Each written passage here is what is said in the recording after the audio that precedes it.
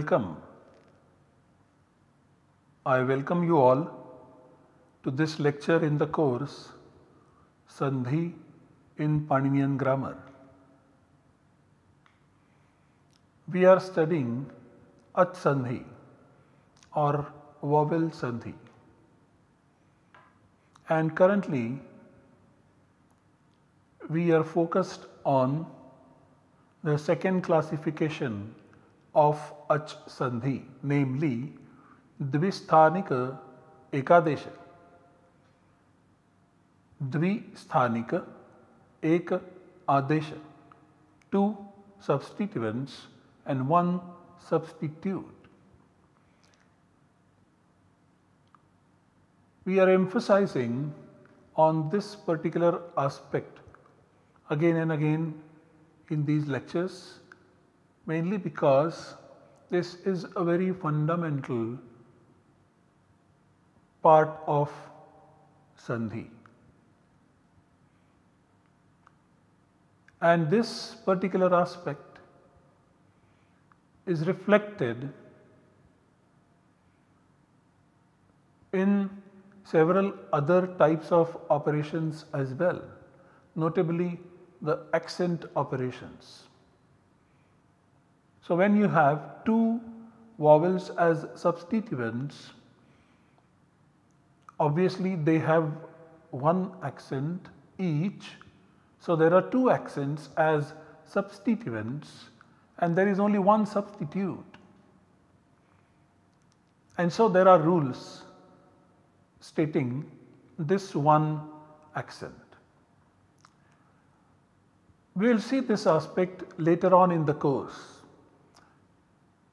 It is important therefore to get this part extremely clear in our own minds. Dvisthanika Ekadesha and that is why we are spending some time at the beginning of each and every lecture on highlighting and emphasizing on this particular classification of the vowel sandhi. The first classification we said was Ekasthanika Ekadesha where you have one substituent and one substitute Ekasthani and Eka Adesha. We saw that there are two instances of this Ekasthanika Ekadesha namely Yan Sandhi and Ayavayav Sandhi.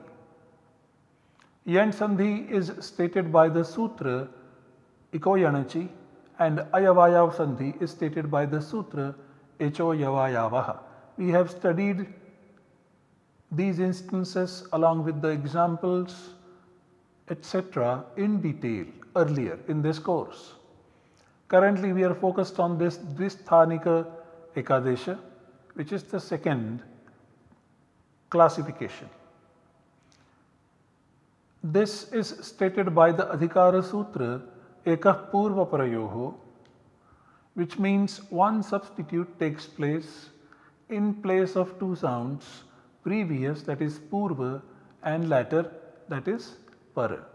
Ekah Purva Parayoho 6184 this is an Adhikara Sutra. This Dvisthanika Ekadesha can be shown diagrammatically in this particular manner where you have A plus B in close proximity in the Samhita mode. And so one of the sutras in this section that begins with 6184 and goes up to 61112, one of the sutras applies and then in place of both of them C substitute is stated. A comes immediately before B and B comes immediately after A. This is how the Samhita and the environment gets expressed in this particular section. So, A plus B is the input and the rule applies and the output is generated in the form of one substitute C. There are 5 instances of Dvisthanika Ekadesha. Second is Vriddhi Sandhi stated by the Sutra Vriddhi Rechi 6188. The third one is Pararupa Sandhi which we are currently studying stated by the Sutra Engi Pararupam 6194. The fourth one is Savarna Dirgha Sandhi stated by the Sutra Akasavarne Dirghaha 61101 and finally Purvarupa Sandhi stated by the Sutra Amipurvaha onwards that is 61107 onwards. Amongst these five currently we are focused on the third Pararupa Sandhi. And this Pararupa Sandhi is stated primarily by the Sutra Engi Pararupam 6194 and we have studied this sutra in detail. What this sutra means is immediately before a verbal root that begins with ing and immediately after a preverb that ends in short or long a, in place of both, one substitute in the form of latter that is pararupa takes place. So you have pra plus ejate where a appears at the end of this preverb and a appears at the beginning of this verbal root age and so they are in close proximity. A plus a is the situation and in this limited environment which is by default the environment for Vriddhirechi to apply but that gets cancelled and 6194 applies because of these limited environments and you have pr, a and jate, pre jate as the generated output. In this lecture, we shall study some more sutras stating the Pararupa Sandhi and these sutras are stated on this particular slide. Omangoscha 6195, Usya Padantat 6196, Atogune 6197, अव्यक्तानुकरणस्यात इतौ 6198, नाम्रेडितस्यांत्यस्य तुवा 6199 and Nityam Amredite Dachi 61100. Let us study these sutras one by one. First, let us take Omangoscha 6195 for our consideration. Omangoscha has got two words, Omangoho and Cha. Omangoho is 7 slash 2 of Omang. Omang has got two constituents, Om and Ang. Ang is a preverb and upasarga. So, Omangoho means immediately before Omang.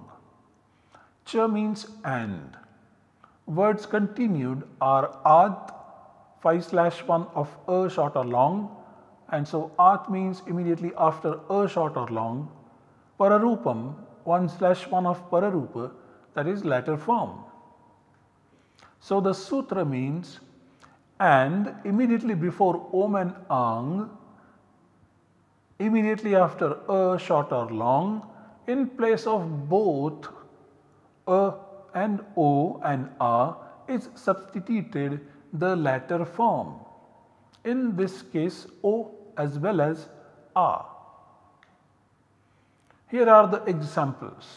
Shivaya Om Namaha. This is a sentence. In this sentence, you have a coming at the end of this pada followed by Om over here. And so, in place of both of them, now this Om will be substituted as one substitute. So the output generated by 6195 would be Shivai, O, M and Namaha. When we join it together we get Shivayom Namaha. Then also we have Shiva plus A plus E. And now A plus E in the Samhita mode 6 187 will apply and the output generated would be Shiva A and he. Now this A over here and this A they will become the input for 6195 to apply and then the output generated would be Shiv, A and he. When we join them together, it becomes Shiva Shivehi. This A is considered as A because A has substituted A and a special rule to this effect is created namely Antadivaccha. What it means is that this one substitute stated by 6184 acts as final of the previous element and also initial of the latter element. So, this uh, A comes in place of A as well as E. So, this A can be considered as E or A can be considered as R. Considering A as R, now we have Shiva plus Ahi and this A is r. So, now Omangoscha applies and there is Pararupa Sandhi. So, we get the form Shivehi. Let us go to the next sutra Usya Padantat. This is 6196.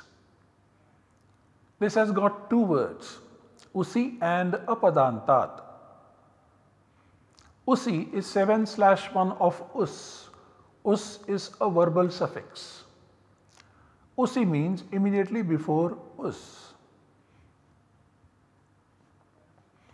Apadantat is 5 slash 1 of apadanta. Apadanta means not at the end of a pada. So apadantat means immediately after a sound that does not occur at the end of a pada. Words continued are ad 5 slash 1 of a short or long and this means immediately after a short or long. And of course pararupam 1 slash 1 of pararupa latter form. So now this sutra means immediately before the suffix us and immediately after a short or long that does not appear at the end of a pada in place of both substitute the latter form that is u. I repeat immediately before the suffix us, immediately before the suffix us and immediately after a short or long that does not appear at the end of a pada. In place of both substitute the latter form that is u. So now here is the derivation process. So we are deriving the form aduhu which means we are deriving the form aduhu which means they gave. They gave. This is derived in this particular fashion. We have the verbal root da to which is added lung. Then we add a to it a da lung then we add the suffix chli in the next step. Then we delete this chli by the sutra 2477 ada 0 and lung. Then this lung gets replaced by g ada 0 z g and then we replace this g by us and now we have ada 0 and us. Now here we notice that this a which is the long variety of a is not appearing at the end of a pada. It is very much inside within a pada followed by the suffix us. And so now this has scope of application for 6196. And so now in place of this a and this u, pararupa sandhi takes place and u as one substitute replaces both of them a and u. So we have a, the, u, s. When we join them together we get adus or aduhu meaning they gave. In this case this a and this u this is the environment a is not appearing at the end of a pada and so both of them get substituted by this latter form u over here. This is what is Usya Padantat. Let us proceed further and study the next sutra. This is Ato Gune. Ato Gune has got two words Ataha 5 slash 1 of At meaning immediately after short A. Remember this is At. At stands for short A and Gune is 7 slash 1 of Guna meaning immediately before Guna and Guna is A, A and O defined by 1, 1, 2 Adeng Gunaha. The words continued are apadantat 5 slash 1 of apadanta meaning not at the end of a pada. So apadantat means immediately after a sound that does not occur at the end of a pada. Pararupam is 1 slash 1 of pararupa that is latter form. All this put together this sutra means immediately before guna that is a, a, o and immediately after short a that appears not at the end of a pada. In place of both is substituted the latter that is guna a, a and o. I repeat immediately before guna gune that is a, a and o and immediately after short a at that appears not at the end of a pada apadantat.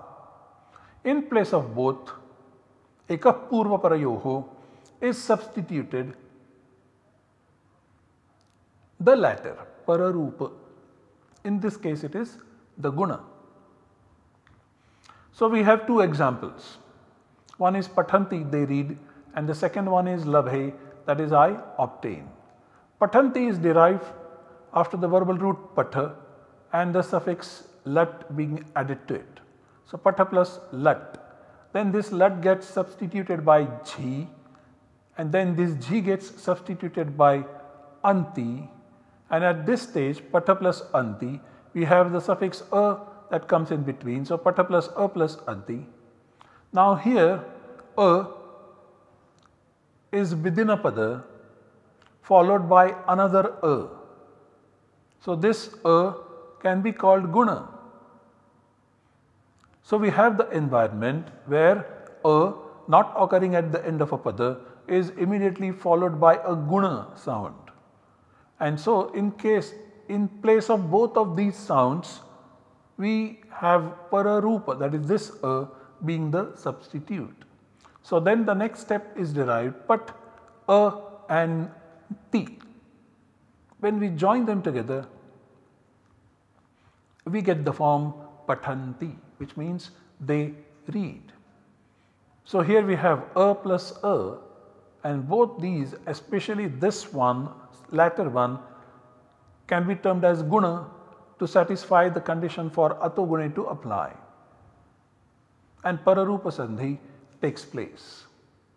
Similarly, if we look at the derivation of labhe, we have labha followed by the suffix lat, vartamane, then this lat gets substituted by e, then this e gets substituted by a, then we have the vikarana pratyaya a coming in between. Now we have a which is not at the end of a pada which is in between a pada followed immediately by a. All this is in the Samhita mode. Now in this case a plus a the by default rules would apply and the vriddhi would be the substitute. But that does not happen over here because of this particular sutra which says that when a occurs not at the end of a pada And if a guna sound appears immediately after it, then in place of both of them place the latter that is the per rupa that is this A in this particular case. So then the next step would be labha plus A. This A is the substitute in place of this A as well as this A. So we have labha plus A labhe which means I obtain. This is atogune. Let us go ahead and look at this next sutra avyaktanukaranasyata itau 6198 and there are three words in the sutra. The first one is avyaktanukaranasya 61 of avyaktanukarana. Avyakta anukarana means avyakta means unexpressed speech. Anukarana is imitation. So avyaktanukarana means part of imitation word of unexpressed speech. This is the meaning of avyaktanukaranasya, part of imitation word of unexpressed speech. What is an unexpressed speech?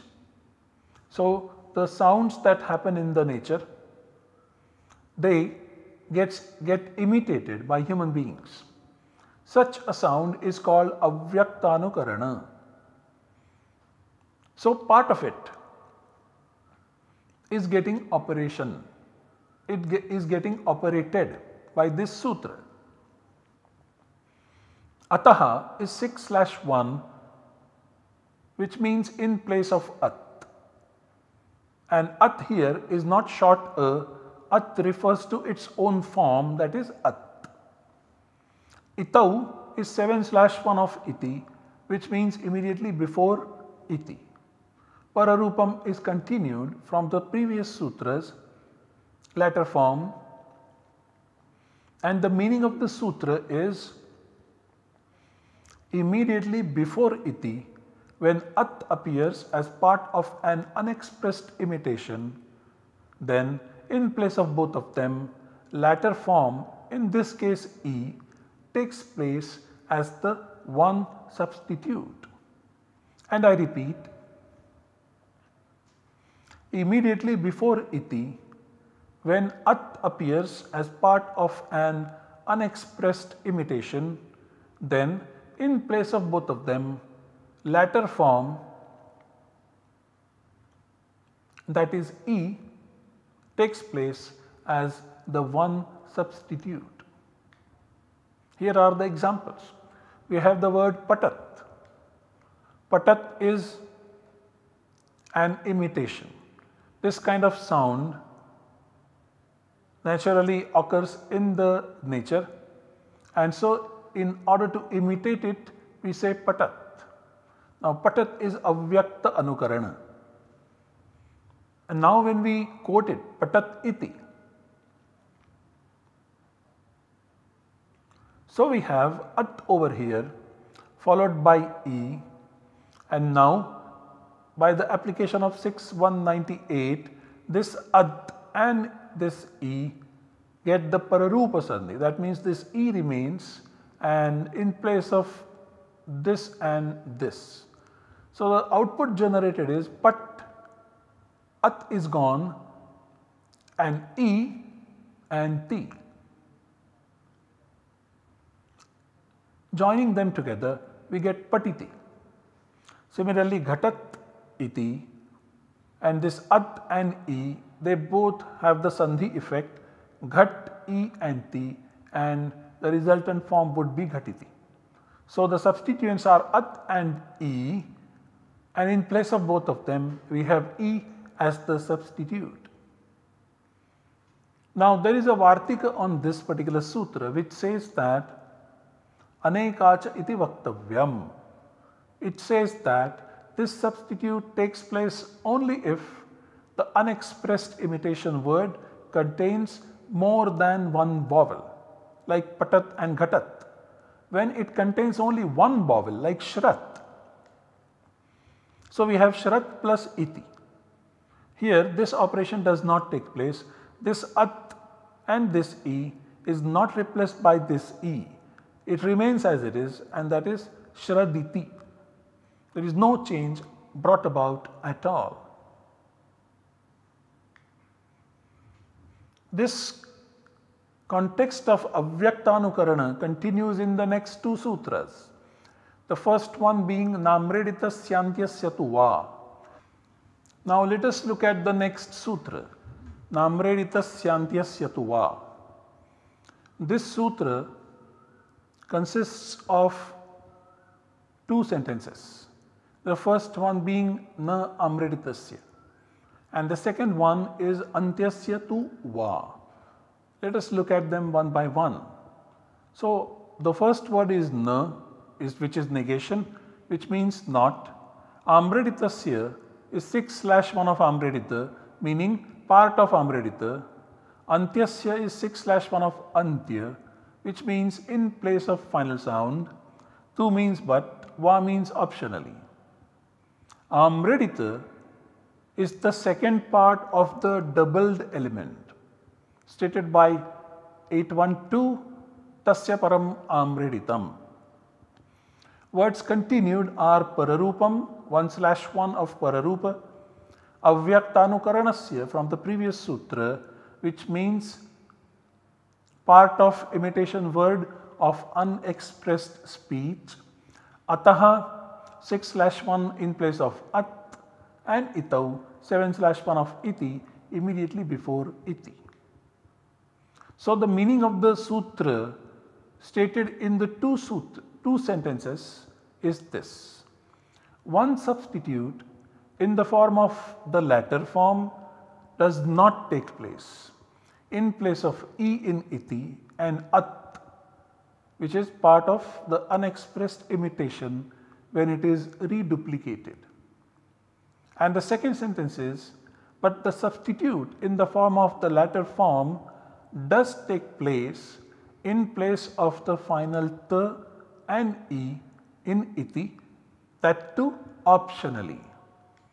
So, not this entire at is replaced, but only this th is replaced.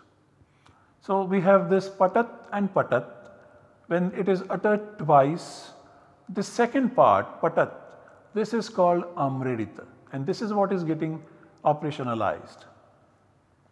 So, patat is one imitation of the unexpressed sound in the nature when it is reduplicated because of 814 nitya vipsayoho we have patat patat followed by iti. Now in this case this at and this E. This does not get E as the substitute, but because of this sutra only this final the and this E they get the substitute pararupa which is E in this case. So, we have patat remaining as it is this the and E is replaced by E. So, we get patat pataditi. This is one output generated where there is no sandhi effect taking place because this is an optional application. So, patat pataditi is one form and the second optional form is patat pata this is pata and then this the and e get substituted by e. So, we have patat pata e and ti and finally patat pateti by the application of the Guna Sutra. We get the output Patat Pateti. Let us look at the next sutra Nityam Amredite Dachi. This is 61100. There are three words in the sutra Nityam, one one of Nitya which means always or without optionality. Amredite is 7 slash 1 of Amredita which means immediately before the second part of the reduplicated unexpressed imitation. Dachi is 7 slash 1 of Dach, a suffix stated by 5457. Words continued are Pararupam 1 slash 1 of Pararupa, Avyaktanukaranasya 6 slash 1 of Avyaktanukarana meaning part of imitation word of unexpressed speech. Ataha is 6 slash 1 of At meaning in place of At. Antyasya is 6 slash 1 of Antya that is in place of final sound. To put this together, we get the meaning namely immediately before the Amredita which comes before the suffix dach, final ta inat and the initial of the Amredita, they both always without optionality get substituted by the latter form that is the initial of the amredita when it is part of an unexpressed imitation. I repeat immediately before the amredita which comes before the suffix dach that means dach suffix is added after the amredita final t in at and the initial of this amredita they both always without optionality get substituted by the latter form that is the initial sound of the amredita when it is part of an unexpressed imitation. So, patat patat we know is unexpressed imitation and after this is the suffix dach that is attached to it. In fact, when this dach suffix is added to patat, then patat get gets reduplicated because of this statement dachi bahulam dve bhavataha and so we get patat patat plus dach. In this case this is the amredita and this is the sound p at the beginning of this amredita and here we have the at the end of this first part which comes immediately before the amredita. Now this amredita is coming immediately before this suffix dach. So the conditions for 61100 to apply are fulfilled. And so now the first step is because of this d, this ad gets deleted, patad pat a. Afterwards this the and this p, they get the pararupa sandhi and so in place of both the and p, only p re remains as the substitute. And so we have pata and pata, pata and pata and this is what is the output that is generated pata pata. This reduplication has happened because of the statement dachi bahulam dve bhavataha. To summarize, we have studied Pararupa Sandhi and we noticed that Pararupa Sandhi applies in a very restricted environment. So, Pararupa Sandhi cancels applications of other by default rules like 6, 187 and 88. Some of the rules apply only word internally like 6, 196 and 97 whereas the other rules only apply between two words 6, 195 and 98. Now we study the next instance of Dvisthanika Ekadesha namely the Savarna Dirgha Sandhi stated by the Sutra Akas Savarne Dirgha 61101. But this we will do in the next lecture. Thank you for your patience.